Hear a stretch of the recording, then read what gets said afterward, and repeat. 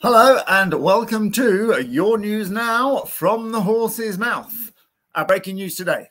A serious outbreak of equimisery has been recorded across the nation. People are tweeting in from all over. Sunderland, we have a tweet here. More people are admitted to hospital from wind related incidents than any other cause.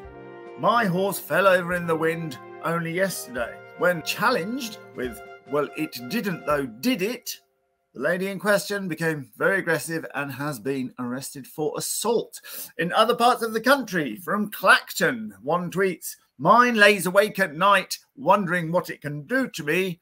And from Scunthorpe, we've got the traditional horse riding. You've got to remember it's the most dangerous hobby in the world. Equimisery across the country. We've been out and about seeing what people are saying. My husband started panicking. If the horse can sense my star sign from two fields away, and now he won't come out of the shed. He's a Gemini, that's two of them stuck in there. If you think about history, I think everyone that's ever ridden a horse has died, haven't they? You know, yeah. Or a mule. Not good news at all. The equimisery outbreak is unprecedented and filling the airways of this nation, which is a doubly bad thing because, as we know, the horses can pick up those airways through the little whiskers on their chinny chin chin.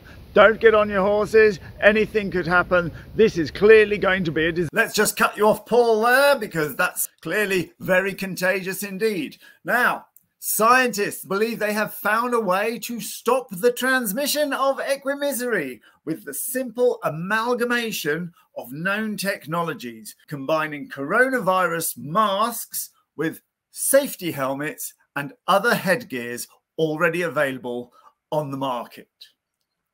So if you want to stop the transmission of equimisery, perhaps you should buy the other people at your yard something special for Christmas. This has been Karl Greenwood, your news now from the horse's mouth. Goodbye. Fucking one take wonder.